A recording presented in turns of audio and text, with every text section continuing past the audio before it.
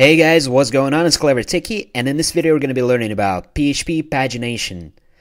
Okay, so this is a diagram that I've created to explain things a little bit better. And what we're going to be doing is we're going to be going over this paginator class which creates the pagination links. And what I've done here is I've incorporated the paginator class here in the movies listing page. This is what the final result is going to look like. It's got all of our movies and it's listing five of them per page because that's the amount that's the limit that I'm specifying here. So I can I can just keep clicking on its random pages and as you can see it's printing five different movies per page. I can go to the last page and it prints out the last three movies here and I can go to first page I can go to next page I can go to previous page and it all works now here you may have noticed I have all the variables and I'm displaying their values just so you guys can understand what's going on here a little, a little bit better.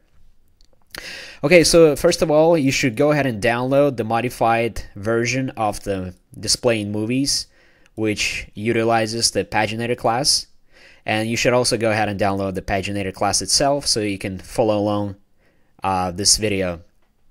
Okay, let's go ahead and get started. So first of all, whenever we're creating a pagination, you got to realize that we're basically what we're doing is we're limiting the amount of the amount of data that we want to display on page. So that is done with a limit keyword in MySQL.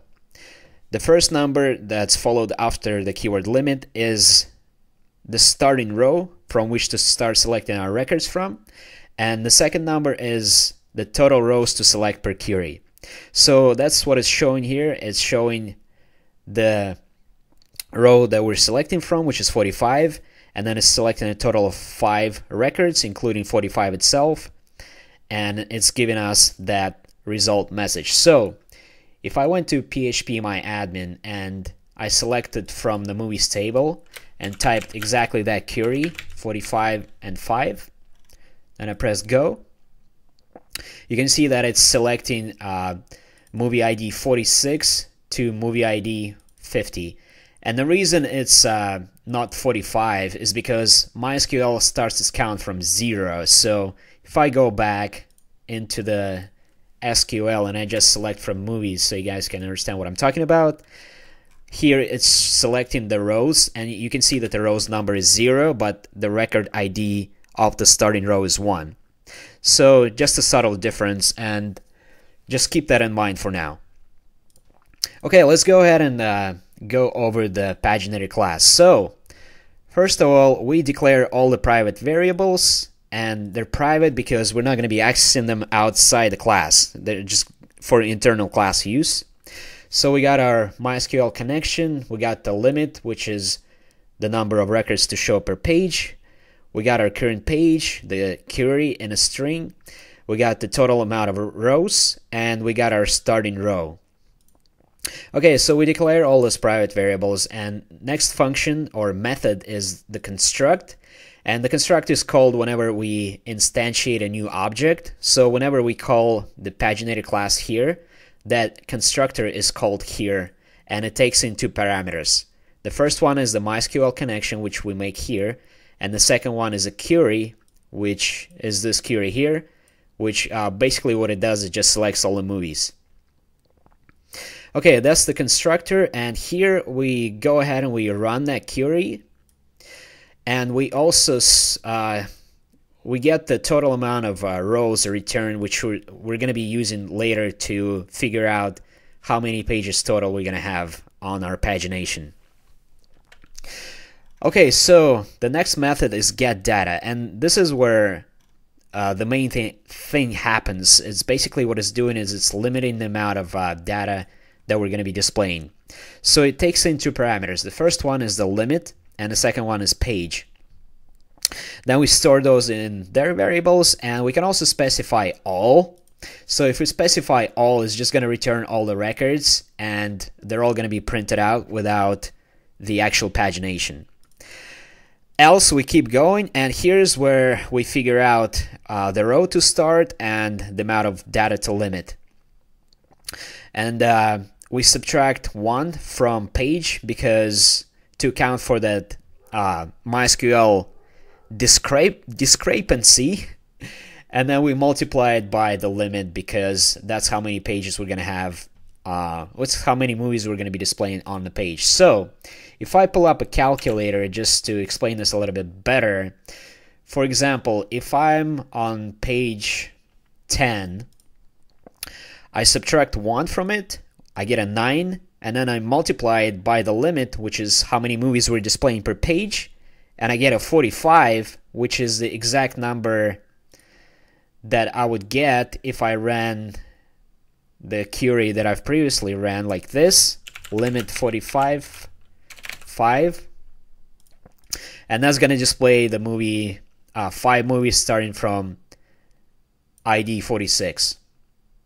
So that's how that works. And this is uh, also, I'm specifying this in a diagram, and this is the row start and here you can see that page minus 1 times the limit which is exactly what we're doing inside the class so this visual is just so you guys can understand this a little bit better you can uh, download this uh, chart and just stare at it, stare at it a little bit longer so until you until you understand what's happening okay so we create this query here and uh, that's how we figure out how many records to display per page and uh, then we store everything, we run the query and we store everything inside the results array. And then down here, we call a std class, which is a class to create a new empty object. And then we store all of our data and return it as an object. What's important to note here is that results data is what we're going to be accessing because that's what's going to store all of our rows because here we're storing inside the results array and then here we're storing inside the result data by providing results which we stored earlier. Okay, so this is getting all of our data and uh, that's how all that works and now we're ready to create the links. So let's go ahead and go over that. Okay, so first of all, what it does here is we can also specify all and in that case it's just going to return nothing so it's not going to print any pagination. But if we didn't specify all of course then we're going to do all this heavy lifting here and create the links. And uh, here's where I'm going to go in depth and explain how all of these links here are created. Okay here we go. So first of all what we're doing is uh, we figuring out the last page by getting our total, which we figure out a little bit earlier by running that over there. And we divide that by the limit. So what happens here, if we have 998 results in this case, and we divide that by our limit, which is how many movies we're showing, we're to get the last page which is 199.6, but we use a ceil function which rounds up the number to 200. And that's exact number that we get here, which is last, and it's to be 200. So if I go back to the browser, that's our last number here. So basically, it's the last page. Okay, so we took care of the last page. Next up, next up we figure out the start link number and the end link number. So if I go back here and I click on some random page, so this is this would be the start link number, which is 186, and 196 would be the end link number. So that's just how just so we know how many links to print out on our pagination. And if we go back to the diagram, you can see that start and the way we create start is page minus links. So if we're on a current page and the page is 10 and our links is 5, then 10 minus 5 equals 5, and that's how we get our starting link count. In a similar way, we get 15 by simply adding links to the current page. So it's 10 plus links equals 15, and that's how we get the end. We need that because later on we're going to use a loop to print out start to end and that's how we print out all the link numbers that you see here. So that's what it's doing here. It's figuring out what the link start is and it's figuring out what the link end is. Now, the reason we want to check if links is greater than zero is because if we are on the first page, we're not going to be printing any links that are on the left hand side. So it's just going to look like this, and that's the reason why it's doing it. In a similar way, if we're on the last page, we're not going to be printing any links on the right hand side because that's the last page, and that's why it's only showing links on the left hand side.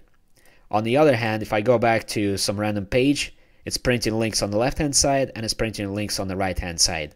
So basically, we're checking for that here using a ternary operator and we're doing it for the last page as well. So now that we've taken care of our links, uh, here what we're doing is we're printing out all the debugging variables that you see here. And you can keep uh, looking at these and uh, you can see that the start is 186 and end is 196, which is uh, our end and start links. And here's our 5, which is uh, the limit, which is how many movies we're printing per page.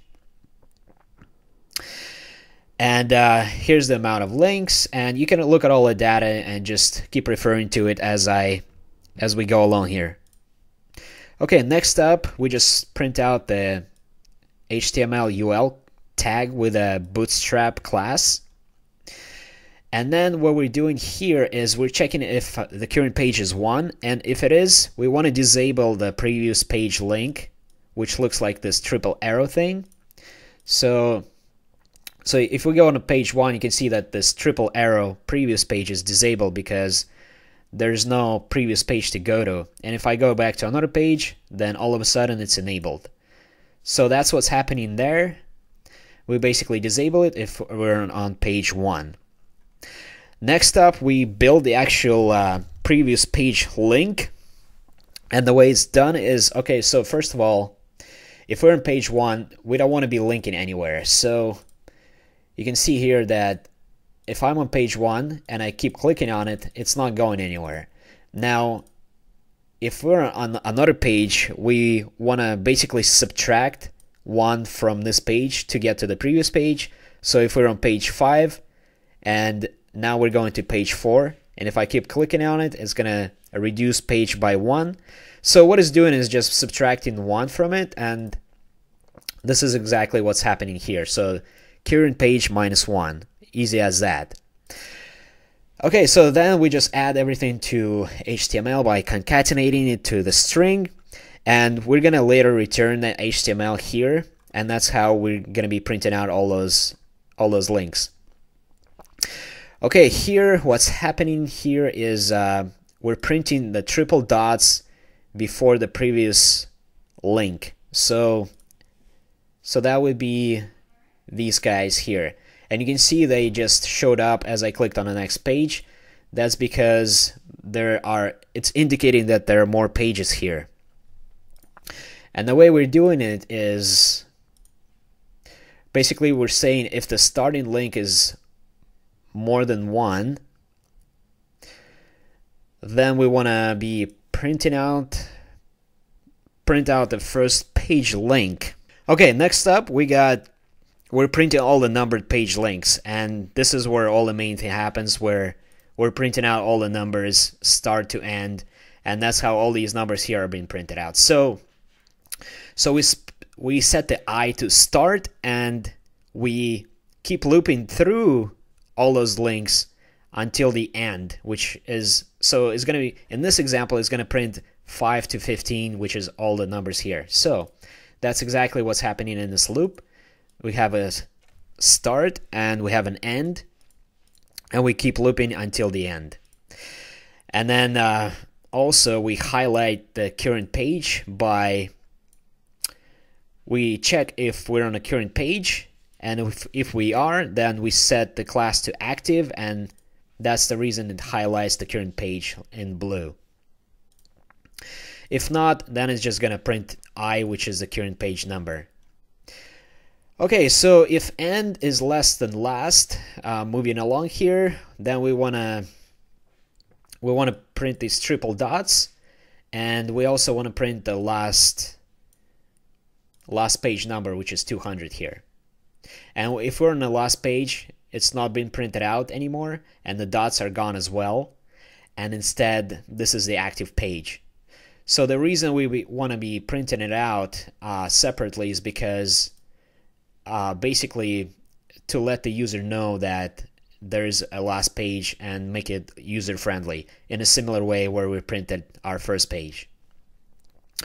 All right, let's uh, keep going here. So next up we got if page is last, then we want to disable uh, the next link. So this thing is going to be disabled and also we want to make sure that we're not linking to it and that's exactly what we're doing here. Okay, and uh, otherwise we want to increase the page by one. So if I go back here and go to random page, that's how the next thing works. It just keeps increasing the page by one in a similar way where we created the previous page where it's page minus one. And let me see if I missed anything. So you, you guys can uh, keep looking at this cheat sheet uh, if you miss something and you want to figure out how things work. As you can see, I have the last variable here, and I have for the previous, I have page minus one. For the next, I have page plus one, just like we talked about. And the start link is created uh, once again with page minus links. The end link is created with page plus links. Here we have our starting row and the amount of data we're selecting. That's how all that works, and that's how it all comes together. Finally, we concatenate the next page to HTML and then we return the whole thing to our to the output, which is how we get all of our uh, links printed. Okay, so you can see that I've incorporated this paginator class here, and what I'm doing is, of course, I'm creating the MySQL connection, and then I'm creating the query to select all the movies. And then this is the important part here. It's basically passing the variables uh, that you see over here, which is limit and page. And uh, we get the limit, which is 5, and the page uh, starting page, which is 1. And here we just set the amount of links to display per page. So if I set this number to 10, we're going to get 10 links per page. And now all of a sudden we got all these links. And I'm just going to reset it back to 5. Then I'm calling the paginator class and get data function, which stores everything inside of our results. Now remember, it stores everything inside the results data. So if I print out this results data here, oh no. Hold on a second, what? Oh, results, results, it's plural. Okay, so you can see that it's uh, it's got all the movie information. And that's exactly why we're looping through that array down here. You can see that I'm looping through the results data over here. Okay, so that's it for the pagination. I hope this was useful for you guys, and if it was, please like this video, share, and subscribe, and I'll see you next time. Clever Techie out.